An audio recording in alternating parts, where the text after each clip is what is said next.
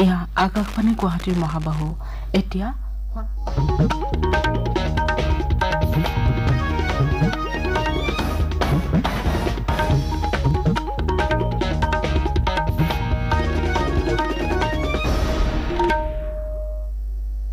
এয়া আকাশবাণী গুৱাহাটী। সন্ধিয়াৰ আঞ্চলিক বাতৰি পঢ়িছো অৰুণিমা গোস্বামীয়ে আৰু মোৰ সৈতে আছে অনুজা লোপামুদ্ৰা। এতিয়া প্ৰধান বাতৰিসমূহ হ'ল লোকসভা নিৰ্বাচনৰ সপ্তম তথা অন্তিম পৰ্যায়ৰ ভোটগ্ৰহণ শান্তিপূৰ্ণভাৱে সম্পন্ন। দেশত আঠাৱন্ন দশমিক তিনি চাৰি শতাংশ ভোটদাতাৰ ভোটদান।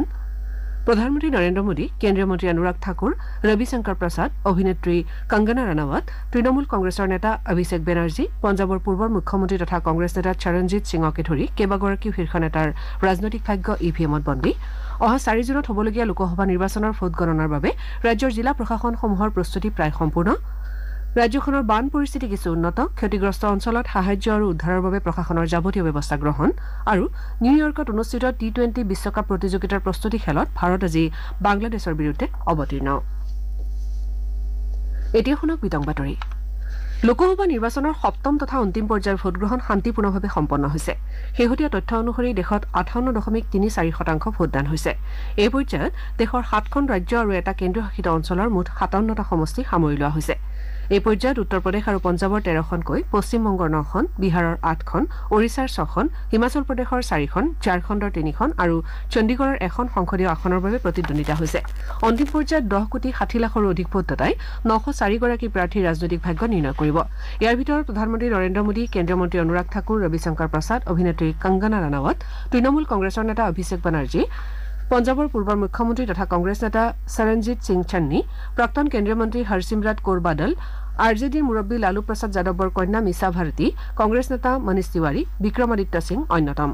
আয়োগে ভোটগ্ৰহণ নিয়াৰিকৈ সম্পন্ন কৰাৰ বাবে প্ৰয়োজনীয় সকলো ব্যৱস্থা গ্ৰহণ কৰে। ভোটগ্ৰহণ নিয়াৰিকৈ সম্পন্ন কৰাৰ বাবে দহ লাখ নব্বৈ হাজাৰৰো অধিক নিৰ্বাচনী বিষয়া নিয়োগ কৰা হৈছিল। নিৰ্বাচন আয়োগে প্ৰকাশ কৰা শেহতীয়া তথ্য অনুসৰি বিহাৰত আঠচল্লিছ দশমিক আঠ ছয় শতাংশ চণ্ডীগড়ত বাষষ্ঠি দশমিক আঠ শূন্য শতাংশ হিমাচল প্ৰদেশত ছয়ষষ্ঠি দশমিক পাঁচ ছয় শতাংশ ঝাৰখণ্ডত সাতষষ্ঠি দশমিক ন পাঁচ শতাংশ ওড়িশাত বাষষ্ঠি দশমিক চাৰি ছয় শতাংশ পঞ্জাৱত পঁচপন্ন দশমিক দুই শূন্য শতাংশ উত্তৰ প্ৰদেশত চৌৱন্ন শতাংশ আৰু পশ্চিমবংগত ঊনসত্তৰ দশমিক আঠ ন শতাংশ ভোটদান হৈছে। আনহাতে ওড়িশা বিধানসভাৰ বিৰাল্লিছটা বিধানসভা সমষ্টিতো ভোটগ্ৰহণ সম্পন্ন হৈছে। চতুৰ্থ পৰ্যায়ৰ ভোটগ্ৰহণত বাষষ্ঠি দশমিক চাৰি ছয় শতাংশ ভোটদাতাই নিজৰ গণতান্ত্ৰিক অধিকাৰ সাব্যস্ত কৰিছিল। আজি লোকসভা নিৰ্বাচনৰ সামৰণিৰ লগে লগে বিভিন্ন সংবাদ মাধ্যমে নিৰ্বাচনী সমীক্ষা প্ৰকাশ কৰিছে। প্ৰাৰম্ভিক তথ্য অনুসৰি টাইমছ নাও নামৰ সংবাদ প্ৰতিষ্ঠানটোৱে কেৰালাৰ কংগ্ৰেছ মিত্ৰজোঁটে চৈধ্যখন বাওপন্থী মিত্ৰজোঁটে চাৰিখন আৰু বিজেপিয়ে এখন আসন লাভ কৰিব বুলি প্ৰকাশ কৰিছে। চি এন এন নিউজৰ তথ্য অনুসৰি তামিলনাডুৰ আই এন ডি এ গোটে ছয়ত্ৰিশৰ পৰা ঊনচল্লিছখন আৰু বিজেপি মিত্ৰজোঁটে দুখন আসন লাভ কৰিব বুলি তথ্য প্ৰকাশ কৰিছে। ৰিপাব্লিক টিভি আৰু পি এম এ আৰ কিউৰ মতে এন ডি এ মিত্ৰজোঁটে তিনিশ ঊনষাঠিখন আসন লাভ কৰি পুনৰ ক্ষমতা দখল কৰাৰ বিপৰীতে কংগ্ৰেছ মিত্ৰজোঁটে এশ চৌৱন্নখন আসন লাভ কৰিব। মেট্ৰিজ নামৰ প্ৰতিষ্ঠানটোৰ সমীক্ষা অনুসৰি বিজেপি মিত্ৰজোঁটে তিনিশ তেৱন্নৰ পৰা তিনিশ আঠষষ্ঠিখন আসন লাভ কৰিব আৰু কংগ্ৰেছ মিত্ৰজোঁটে এশ ওঠৰৰ পৰা এশ তেত্ৰিশখন আসন লাভ কৰাৰ সম্ভাৱনা আছে। কৰ্ণাটকত টাইমছ নাও নৱভাৰতৰ সমীক্ষা অনুসৰি কংগ্ৰেছে পাঁচখন বিজেপিয়ে তেইছখন আসন লাভ কৰিব। অহা চাৰি জুনত হ'বলগীয়া লোকসভা নিৰ্বাচনৰ ভোট গণনাৰ বাবে ৰাজ্যৰ জিলা প্ৰশাসনসমূহৰ প্ৰস্তুতি প্ৰায় সম্পূৰ্ণ হৈ উঠিছে। ৰাজ্যখনৰ পঞ্চাছখন জিলাৰ নিৰ্বাচনী জিলাত স্থাপিত বাৱন্নটা ভোটগ্ৰহণ কেন্দ্ৰত ভোট গণনাৰ বাবে প্ৰয়োজনীয় সকলো ব্যৱস্থা লোৱা হৈছে। বৰপেটাৰ মাধৱ চৌধুৰী মহাবিদ্যালয়ত ভোট গণনাৰ বাবে কোঠাসমূহ সাজু কৰি তোলা হৈছে। সমান্তৰালভাৱে গণনাৰ দায়িত্বত থাকিবলগীয়া সকলোৰে প্ৰশিক্ষণ অব্যাহত আছে। বৰপেটা জিলা নিৰ্বাচনী বিষয়াই প্ৰকাশ কৰা অনুসৰি মাধৱ চৌধুৰী মহাবিদ্যালয়ত বৰপেটা লোকসভা সমষ্টিৰ অন্তৰ্গত দুটা বিধানসভা সমষ্টি ক্ৰমে বৰপেটা আৰু পাকা বেতবাৰীৰ উপৰি বৰপেটা নিৰ্বাচনী জিলাৰ অন্তৰ্ভুক্ত হোৱা হেতু ধুবুৰী লোকসভা সমষ্টিৰ চেঙা আৰু মন্দিয়াৰো ভোট গণনা কৰা হ'ব। তদুপৰি বৰপেটা লোকসভা সমষ্টিৰ পোষ্টেল ভোটৰ গণনাও ইয়াতে সম্পন্ন হ'ব। ইপিনে চাৰি জুনৰ পুৱা আঠ বজাৰ পৰা বঙাইগাঁও মহাবিদ্যালয়ৰ মুঠ চৈধ্যখন মেজত ষোল্লটা দফাত গণনা কাৰ্য সম্পন্ন হ'ব।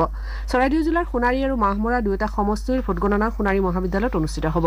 সোণাৰী সমষ্টিত তেৰটা আৰু মাহমৰা সমষ্টিত বাৰটা ৰাউণ্ডত ভোটগণনা কৰা হ'ব। লোকসভা নিৰ্বাচনৰ ভোটগণনাক কেন্দ্ৰ কৰি ওদালগুৰি জিলা প্ৰশাসনো সাজু হৈ উঠিছে। তিনি তৰপীয়া নিৰাপত্তা বেষ্টনীৰ মাজেৰে মাজেৰে ওদালগুৰিৰ আয়ুক্তৰ কাৰ্যালয়ত এইবেলি জিলাখনৰ চাৰিটা সমষ্টিত ওদালগুৰি মাজবাট টংলা আৰু ভেৰগাঁৱৰ ভোটগণনা অনুষ্ঠিত হ'ব। ইপিনে মঙলদৈ মহাবিদ্যালয়ত দৰঙৰ তিনিটা সমষ্টি ক্ৰমে মঙলদৈ চিপাঝাৰ আৰু দলগাঁৱৰ ভোটগণনা কৰা হ'ব।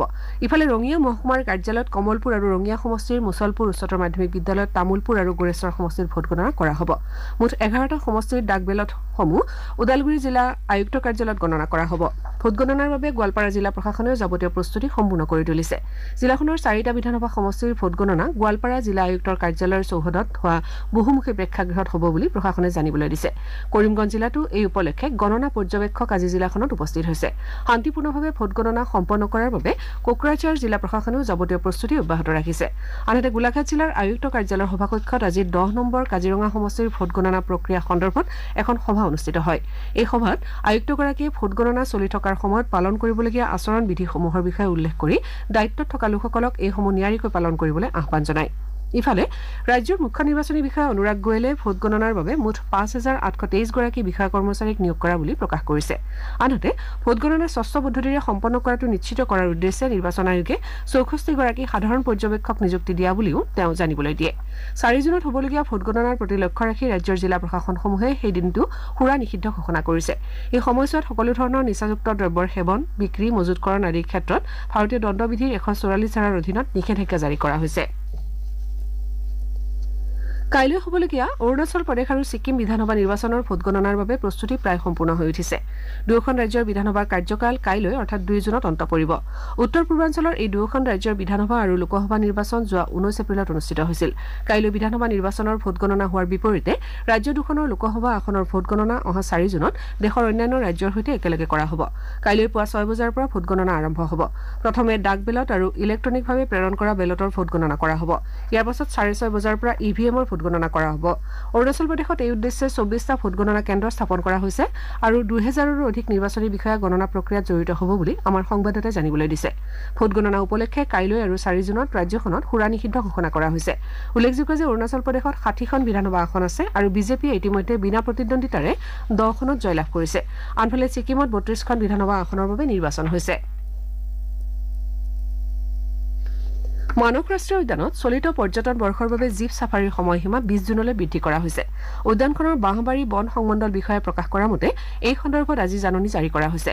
উল্লেখযোগ্য যে ইয়াৰ পূৰ্বে পৰ্যটকৰ বাবে ৰাষ্ট্ৰীয় উদ্যানখনৰ প্ৰৱেশদ্বাৰ পাঁচ জুনত বন্ধ কৰা হ'ব বুলি জাননী দিয়া হৈছিল। বাৰিষাৰ পৰিপ্ৰেক্ষিতত এই সিদ্ধান্ত লোৱা হৈছিল যদিও পৰ্যটকৰ আগমন অব্যাহত থকাৰ লগতে বাট পথ সুচল হৈ থকালৈ লক্ষ্য ৰাখি জীপ ছাফাৰীৰ সুবিধা বিছ জুনলৈ বৃদ্ধি কৰা হৈছে। অৱশ্যে বাঁহবাৰী ৰেঞ্জৰ প্ৰৱেশদ্বাৰৰ পৰা মথনগুৰিলৈ মূল পথটোতহে জীপ ছাফাৰীৰ ব্যৱস্থা থাকিব। শ্ৰোতাসকলে সন্ধিয়াৰ আঞ্চলিক বাতৰি শুনিছে আকাশবাণী গুৱাহাটী কেন্দ্ৰৰ পৰা। পৰৱৰ্তী বাতৰি শুনক অনুজা লোপামুদ্ৰাৰ পৰা। ৰাজ্যখনৰ বান পৰিস্থিতি পূৰ্বতকৈ কিছু উন্নত হৈছে যদিও ৰাজ্যৰ এঘাৰখন জিলা এতিয়াও বানৰ কবলত আছে। বৰাক কপিলি কুশিয়াৰা আৰু কাটাখালকে ধৰি কেইবাখনো নৈ জলস্তৰ বিপদসীমাৰ ওপৰেৰে বৈ আছে। অসম ৰাজ্যিক দুৰ্যোগ ব্যৱস্থাপনা প্ৰাধিকৰণৰ তথ্য অনুসৰি হাইলাকান্দি হোজাই গোলাঘাট নগাঁও ধেমাজি ডিব্ৰুগড় কৰিমগঞ্জ কাছাৰ কাৰ্বি আংলং পশ্চিম কাৰ্বি আংলং আৰু ডিমা হাছাও জিলাৰ মুঠ পঁচিছটা ৰাজহ চক্ৰৰ অধীনস্থ পাঁচশ ষাঠিখন গাঁও বানত প্লাৱিত হৈছে। এই পৰ্যন্ত ৰাজ্যৰ মুঠ তিনি লাখ ঊনপঞ্চাছ হাজাৰ পঞ্চল্লিছগৰাকী লোক বানত ক্ষতিগ্ৰস্ত হৈছে। বানৰ ফলত ৰাজ্যখনত আঠজন ব্যক্তিৰ মৃত্যু হোৱা বুলি জানিব পৰা গৈছে। ইফালে আটাইকেইখন জিলাতে মুঠ এশ আঠচল্লিছটা সাহায্য শিবিৰ আৰু ঊনচল্লিছটা বান সাহায্য বিতৰণ কেন্দ্ৰ স্থাপন কৰা হৈছে। আনহাতে বানত এই পৰ্যন্ত উল্লেখিত এঘাৰখন জিলাৰ দহ লাখ তেইছ হাজাৰ তেষষ্ঠিটা পশুধনৰ ক্ষতি হোৱাৰ উপৰি মুঠ প্ৰায় চাৰি হাজাৰ নশ একত্ৰিছ হেক্টৰ কৃষিভূমি বানৰ কবলত পৰিছে। বৰাক উপত্যকাৰ বান ক্ষতিগ্ৰস্ত অঞ্চলত সাহায্য আৰু উদ্ধাৰ অভিযানৰ বাবে ৰাষ্ট্ৰীয় দুৰ্যোগ সঁহাৰি বাহিনী চমুকৈ এন ডি আৰ এফৰ এটা অতিৰিক্ত দল প্ৰেৰণ কৰা হৈছে।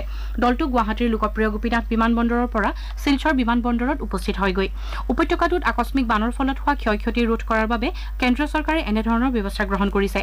ইতিমধ্যে বৰাক উপত্যকাৰ তিনিওখন জিলাতে বান ক্ষতিগ্ৰস্তসকলৰ সহায়ৰ বাবে প্ৰশাসনে ব্যৱস্থা গ্ৰহণ কৰাৰ লগতে এন ডি আৰ এফ আৰু এছ ডি আৰ এফে উদ্ধাৰ আৰু সাহায্য অভিযান অব্যাহত ৰাখিছে। কৰিমগঞ্জ জিলাৰ বদৰপুৰ অঞ্চল বৰাক নৈৰ বানে বুঢ়াই পেলাইছে। জগন্নাথপুৰত দুই শতাধিক লোক মালোৱা পাব্লিক স্কুলত স্থাপন কৰা আশ্ৰয় শিবিৰত আশ্ৰয় লৈ আছে। প্ৰতিকূল বতৰৰ প্ৰতি লক্ষ্য ৰাখি আজিও জিলাখনৰ প্ৰশাসনে সকলো শিক্ষানুষ্ঠান বন্ধ ৰখাৰ নিৰ্দেশ দিয়ে। নগাঁও জিলাত কপিলী নৈৰ পানী বিপদসীমাৰ ওপৰেৰে বৈ থকাৰ লগতে কলঙৰ জলস্তৰো বৃদ্ধি পাইছে।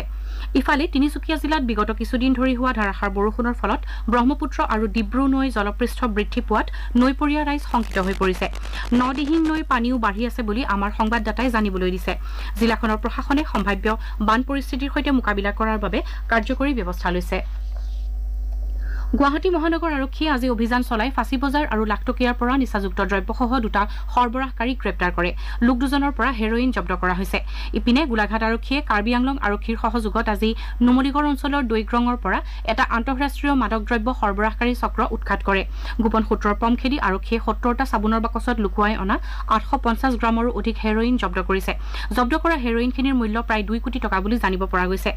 হাইলাকান্দি আৰক্ষী আৰু চি আৰ পি এফে যুটীয়াভাৱে অভিযান চলাই জিলাখনৰ লালা আৰক্ষী চকীৰ অন্তৰ্গত। চাহাবাদ গাঁৱৰ পৰা এটা মাদক দ্ৰব্য সৰবৰাহকাৰীক আটক কৰাৰ লগতে বুজন পৰিমাণৰ মাদক দ্ৰব্য জব্দ কৰে। এই মাদক দ্ৰব্যৰ বজাৰ মূল্য কমেও পাঁচ লাখ টকা হ'ব বুলি আৰক্ষীয়ে প্ৰকাশ কৰিছে। আৰক্ষীয়ে মাদক দ্ৰব্য সৰবৰাহকাৰীটোক সোধা পোছা অব্যাহত ৰাখিছে। উচ্চতৰ মাধ্যমিক প্ৰথম বৰ্ষৰ নামভৰ্তিৰ বাবে অসম উচ্চতৰ মাধ্যমিক শিক্ষা সংসদে আজিৰে পৰা পুনৰ দৰ্পণ পৰ্টেল মুকলি কৰিছে। অহা ন জুনলৈ পৰ্টেলটো মুকলি থাকিব আৰু শিক্ষাৰ্থীসকলে যাৱতীয় তথ্যৰ বাবে W W W dot AHSEC dot Assam dot gov dot in বা Darpan dot AHSEC online dot in website চাব পাৰিব। লগতে শিক্ষা সংসদে সকলো শিক- শিক্ষানুষ্ঠানক বাৰ জুনৰ ভিতৰত নামভৰ্তি সম্পূৰ্ণ কৰিবলৈ নিৰ্দেশ দিছে। তেল আৰু প্ৰাকৃতিক গেছ নিগম চমুকৈ অ' এন জি চিৰ অসম সম্পদ থলুৱা বিৰোধী নীতিৰ বিৰুদ্ধে শিৱসাগৰ জিলাৰ কেইবাটাও দল সংগঠনে প্ৰতিবাদী কাৰ্যসূচী ঘোষণা কৰিছে।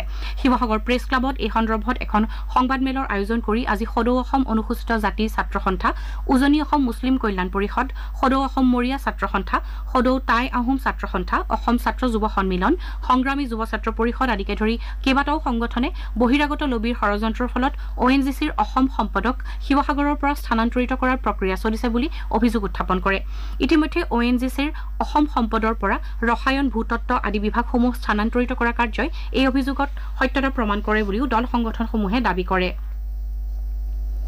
গুৱাহাটী উচ্চ ন্যায়ালয়ৰ নিৰ্দেশমৰ্মে গঠিত সমিতিৰ সদস্যসকলৰ এটা প্ৰতিনিধি দলে ৰাজ্যৰ বিভিন্ন ঠাই শিশুগৃহ পৰিদৰ্শন কৰি শিশু সুৰক্ষা আৰু নিৰাপত্তাৰ বিভিন্ন দিশ পৰ্যালোচনা কৰি বিশেষ প্ৰতিবেদন প্ৰস্তুত কৰিছে। সমিতিৰ সদস্য ববিতা শইকীয়া সুনন্দা দাস আৰু সুবোধ দাসে আজি গোৱালপাৰা জিলাৰ জি ভি এছ শিশুগৃহ পৰ্যবেক্ষণ কৰে। তদুপৰি তেওঁলোকে কালি মানকাছৰ জিলাৰ ৰেজা শিশুগৃহ আৰু এটা বিশেষ দত্তক প্ৰতিষ্ঠান পৰিদৰ্শন কৰে। তেওঁলোকে শিশুগৃহৰ শিশুসকলৰ অৱস্থাৰ বুজ লোৱাৰ লগতে শিশু ন্যায় আৰু সুৰক্ষা আইন দুহেজাৰ পোন্ধৰৰ শুদ্ধ আৰু সম্পূৰ্ণ ৰূপায়ণৰ সন্দৰ্ভতো বুজ লয়। পৰিদৰ্শনকালত প্ৰতিনিধি দলটোৱে শিশুসকলৰ সুৰক্ষা আৰু নিৰাপত্তাৰ বিষয়ে শিশুগৃহৰ কৰ্মচাৰী আৰু পৰিচালনা সমিতিৰ সদস্যসকলৰ লগত গুৰুত্বপূৰ্ণ আলোচনাত মিলিত হয়। উজনি মাজুলী খেৰকটীয়া মহাবিদ্যালয়ৰ প্ৰেক্ষাগৃহত আজি ভাৰতীয় ন্যায় সংহিতা আৰু ভাৰতীয় নাগৰিক সুৰক্ষা সংহিতা দুহেজাৰ তেইছ বিষয়ক এখন সজাগতা সভা অনুষ্ঠিত হয়। মহাবিদ্যালয়খনৰ শিক্ষক মণ্ডলী আৰু জিলা আৰক্ষী প্ৰশাসনৰ সহযোগত সম্পন্ন হোৱা এই সভাত মাজুলী জিলাৰ অতিৰিক্ত আৰক্ষী অধীক্ষক বিতুল চেতিয়া মুখ্য বক্তা হিচাপে উপস্থিত থাকে। ৰাজ্যিক পৰিবহণ কৰ্ম- কৰ্মচাৰী সন্থাৰ প্ৰতিষ্ঠাপক সাধাৰণ সম্পাদক অতুল চন্দ্ৰ শইকীয়াৰ বিৰাল্লিছ সংখ্যক মৃত্যুবাৰ্ষিকী আজি সন্থাৰ গুৱাহাটীৰ মুখ্য কাৰ্যালয়ত পালন কৰা হয়। শ্ৰমিক নেতা তথা প্ৰাক্তন বিধায়ক প্ৰয়াত শইকীয়াৰ মৃত্যুবাৰ্ষিকী উপলক্ষে তেওঁৰ প্ৰতিচ্ছবিত মাল্যাৰ্পণ কৰাৰ লগতে শ্ৰদ্ধাঞ্জলি অনুষ্ঠানৰো আয়োজন কৰা হয়। মাজুলী সাংস্কৃতিক বিশ্ববিদ্যালয়ত সপ্তম প্ৰতিষ্ঠা দিৱস আজি উদযাপন কৰা হয়। অনুষ্ঠানত মাজুলী কিছু অনালোচিত দিশ শীৰ্ষক বিষয়ত বিশ্ববিদ্যালয়খনৰ উপাচাৰ্য তথা ইতিহাসবিদ ডঃ ডম্বৰুধৰ নাথে বক্তৃতা দিয়ে। এই অনুষ্ঠানত বিশ্ববিদ্যালয়খনৰ শীৰ্ষগীতটি উন্মোচন কৰে ডিব্ৰুগড় বিশ্ববিদ্যালয়ৰ ইতিহাস বিভাগৰ অধ্যাপক জাহ্নবী গগৈয়ে। আকাশবাণী গুৱাহাটী কেন্দ্ৰৰ আঞ্চলিক বাতৰি বিভাগে আজি নিশা আঠ বাজি দুই মিনিটত দৃষ্টিপাত অনুষ্ঠানত নতুন ফৌজদাৰী আইন সন্দৰ্ভত আলোচনা প্ৰচাৰ কৰিব। এই অনুষ্ঠানত অধিবক্তা নিকুঞ্জদেৱ শৰ্মা আৰু অপৰাধ অনুসন্ধান শাখাৰ বিশেষ আৰক্ষী অধীক্ষক প্ৰণৱজ্যোতি গোস্বামী অতিথি হিচাপে উপস্থিত থাকিব। আগ্ৰহী শ্ৰোতাই অনুষ্ঠান চলি থকাৰ সময়ত শূন্য তিনি ছয় এক দুই ছয় ছয় এক আঠ সাত ছয় অথবা দুই ছয় ছয় দুই তিনি দুই পাঁচ নম্বৰত ফোন কৰি অতিথিৰ সৈতে কথা পাতিব পাৰিব। অনুষ্ঠানটিৰ আঁত ধৰিব মানস প্ৰতিম শৰ্মাই। ভাৰত আজি নিউ- নিউয়ৰ্কৰ নাছাও কাউণ্টি আন্তঃৰাষ্ট্ৰীয় ক্ৰিকেট ষ্টেডিয়ামত টি টুৱেণ্টি বিশ্বকাপ প্ৰতিযোগিতাৰ প্ৰস্তুতি খেলত বাংলাদেশৰ বিৰুদ্ধে অৱতীৰ্ণ হ'ব। খেলখন নিশা আঠ বজাত আৰম্ভ হ'ব। উল্লেখযোগ্য যে ৰোহিত শৰ্মা নেতৃত্বাধীন ভাৰতীয় ক্ৰিকেট দলে অহা পাঁচ জুনত নিউয়ৰ্কতে আয়াৰলেণ্ডৰ বিৰুদ্ধে খেলি বিশ্বকাপত অভিযান আৰম্ভ কৰিব। বাতৰি শেষ কৰাৰ পূৰ্বে প্ৰধান বাতৰিকেইটা আকৌ এবাৰ পঢ়ি দিছো। লোকসভা নিৰ্বাচনৰ সপ্তম তথা অন্তিম পৰ্যায়ৰ ভোটগ্ৰহণ শান্তিপূৰ্ণভাৱে সম্পন্ন। দেশত আঠাৱন্ন দশমিক তিনি চাৰি শতাংশ ভোটদাতাৰ ভোটদান। প্ৰধানমন্ত্ৰী নৰেন্দ্ৰ মোদী কেন্দ্ৰীয় মন্ত্ৰী অনুৰাগ ঠাকুৰ ৰবিশংকৰ প্ৰসাদ অভিনেত্ৰী কংগনা ৰানাৱট তৃণমূল কংগ্ৰেছৰ নেতা অভিষেক বেনাৰ্জী আদিকে ধৰি কেইবাগৰাকীও শীৰ্ষ নেতাৰ ৰাজনৈতিক ভাগ্য ইভিএমত ইভিএমত বন্দী। কেইবাটাও সংবাদ গোষ্ঠীৰ প্ৰাৰম্ভিক নিৰ্বাচনী সমীক্ষা অনুসৰি দেশত এন ডি এ পুনৰবাৰ শাসনলৈ অহাৰ সম্ভাৱনা। অহা চাৰি জুনত হ'বলগীয়া লোকসভা নিৰ্বাচনৰ ভোটগণনাৰ বাবে ৰাজ্যৰ জিলা প্ৰশাসনসমূহৰ প্ৰস্তুতি প্ৰায় সম্পূৰ্ণ আৰু নিউয়ৰ্কত অনুষ্ঠিত টি টুৱেণ্টি বিশ্বকাপ প্ৰতিযোগিতাৰ প্ৰস্তুতি খেলত ভাৰত আজি বাংলাদেশৰ বিৰুদ্ধে অৱতীৰ্ণ। এতিয়াৰ বাতৰি ইমানতে অন্ত পৰিল।